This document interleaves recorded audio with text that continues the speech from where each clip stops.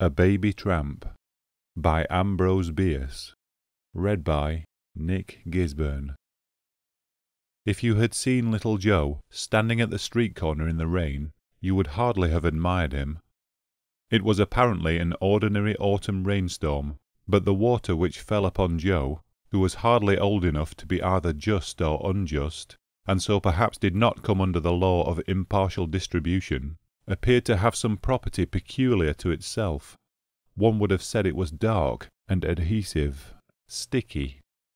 But that could hardly be so, even in Blackburg, where things certainly did occur that were a good deal out of the common. For example, ten or twelve years before, a shower of small frogs had fallen, as is credibly attested by a contemporaneous chronicle the record concluding with a somewhat obscure statement to the effect that the chronicler considered it good growing weather for Frenchmen. Some years later, Blackburg had a fall of crimson snow. It is cold in Blackburg when winter is on, and the snows are frequent and deep. There can be no doubt of it. The snow in this instance was of the colour of blood, and melted into water of the same hue, if water it was, not blood. The phenomenon had attracted wide attention, and science had as many explanations as there were scientists who knew nothing about it. But the men of Blackburg, men who for many years had lived right there where the red snow fell, and might be supposed to know a good deal about the matter, shook their heads and said something would come of it. And something did, for the next summer was made memorable by the prevalence of a mysterious disease, epidemic, endemic, or the Lord knows what, though the physicians didn't, which carried away a full half of the population. Most of the other half carried themselves away and were slow to return, but finally came back, and were now increasing and multiplying as before, but Blackburg had not since been altogether the same. Of quite another kind, though equally out of the common, was the incident of Hetty Parlow's ghost. Hetty Parlow's maiden name had been Brownon, and in Blackburg that meant more than one would think. The Brownons had from time immemorial, from the very earliest of the old colonial days, been the leading family of the town. It was the richest and it was the best, and Blackburg would have shed the last drop of its plebeian blood in defence of the Brownon fair fame.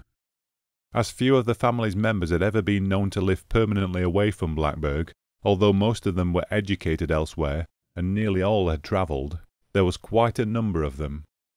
The men held most of the public offices, and the women were foremost in all good works. Of these latter, Hetty was most beloved by reason of the sweetness of her disposition, the purity of her character, and her singular personal beauty. She married in Boston a young scapegrace named Parlow, and like a good Brownon, brought him back to Blackburg forthwith, and made a man and a town councillor of him. They had a child, which they named Joseph, and dearly loved, as was then the fashion among parents in all that region.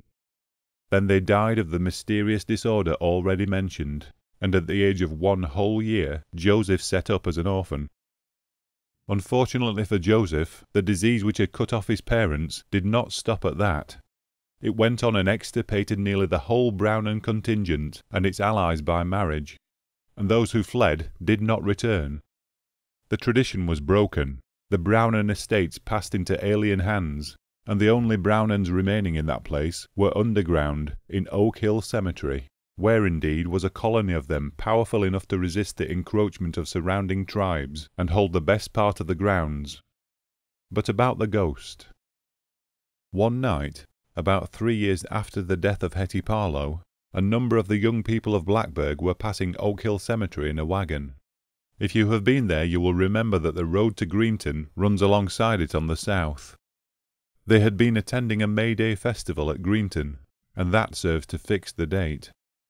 Altogether there may have been a dozen, and a jolly party they were, considering the legacy of gloom left by the town's recent sombre experiences.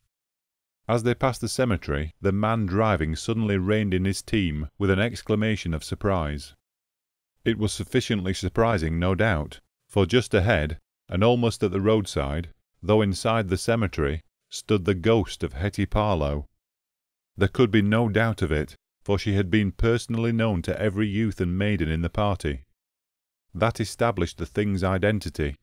Its character as ghost was signified by all the customary signs the shroud, the long undone hair, the faraway look, everything.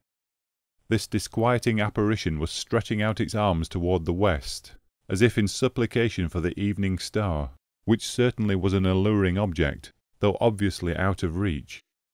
As they all sat silent, so the story goes, every member of that party of merrymakers they had merry made on coffee and lemonade only distinctly heard that ghost call the name Joey, Joey. A moment later, nothing was there. Of course, one does not have to believe all that. Now at that moment, as was afterward ascertained, Joey was wandering about in the sagebrush on the opposite side of the continent, near Winnemucca, in the state of Nevada. He had been taken to that town by some good persons distantly related to his dead father, and by them adopted and tenderly cared for. But on that evening the poor child had strayed from home and was lost in the desert. His after history is involved in obscurity and has gaps which conjecture alone can fill. It is known that he was found by a family of Paiute Indians, who kept the little wretch with them for a time, and then sold him, actually sold him for money, to a woman on one of the eastbound trains, at a station a long way from Winnemucca. The woman professed to have made all manner of inquiries, but all in vain. So, being childless and a widow, she adopted him herself. At this point of his career, Joe seemed to be getting a long way from the condition of orphanage, the interposition of a multitude of parents between himself and that woeful state promised him a long immunity from its disadvantages. Mrs. Darnell, his newest mother, lived in Cleveland, Ohio. But her adopted son did not long remain with her. He was seen one afternoon by a policeman new to that beat, deliberately toddling away from her house, and being questioned, answered that he was a doin' home. He must have travelled by rail somehow, for three days later he was in the town of Whiteville, which as you know is a long way from Blackburg. His clothing was in pretty fair condition, but he was sinfully dirty. Unable to give any account of himself, he was arrested as a vagrant and sentenced to imprisonment in the infant sheltering home, where he was washed. Joe ran away from the infant sheltering home at Whiteville, just took to the woods one day, and the home knew him no more forever. We find him next, or rather get back to him, standing forlorn in the cold autumn rain at a suburban street corner in Blackburg. And it seems right to explain now that the raindrops falling upon him there were really not dark and gummy. They only failed to make his face and hands less so. Joe was indeed fearfully and wonderfully besmirched, as by the hand of an artist. And the forlorn little tramp had no shoes, his feet were bare, red, and swollen, and when he walked he limped with both legs. As to clothing, ah, Arya would hardly have had the skill to name any single garment that he wore, or say by what magic he kept it upon him. That he was cold all over and all through did not admit of a doubt. He knew it himself. Any one would have been cold there that evening, but for that reason no one else was there. How Joe came to be there himself he could not for the flickering little life of him have told, even if gifted with a vocabulary exceeding a hundred words. From the way he stared about him, one could have seen that he had not the faintest notion of where, nor why, he was. Yet he was not altogether a fool in his day and generation. Being cold and hungry, and still able to walk a little by bending his knees very much indeed, and putting his feet down toes first, he decided to enter one of the houses which flanked the street at long intervals, and looked so bright and warm.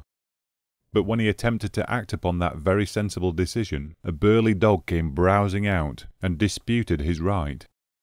Inexpressibly frightened, and believing, no doubt, with some reason too, that brutes without meant brutality within, he hobbled away from all the houses, and with grey wet fields to right of him and grey wet fields to left of him, with the rain half blinding him, and the night coming in mist and darkness, held his way along the road that leads to Greenton.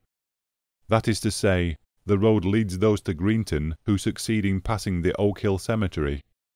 a considerable number every year do not. Joe did not. They found him there the next morning, very wet, very cold, but no longer hungry. He had apparently entered the cemetery gate, hoping perhaps that it led to a house where there was no dog, and gone blundering about in the darkness, falling over many a grave no doubt, until he had tired of it all and given up. The little body lay upon one side, with one soiled cheek upon one soiled hand, the other hand tucked away among the rags to make it warm, the other cheek washed clean and white at last, as for a kiss from one of God's great angels.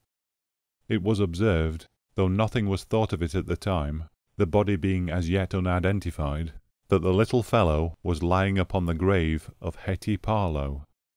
The grave, however, had not opened to receive him. That is a circumstance which, without actual irreverence, one may wish had been ordered otherwise.